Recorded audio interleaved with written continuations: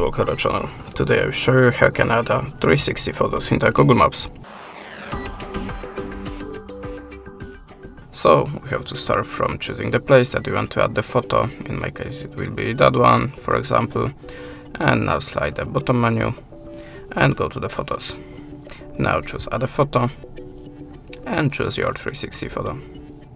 If you already click post,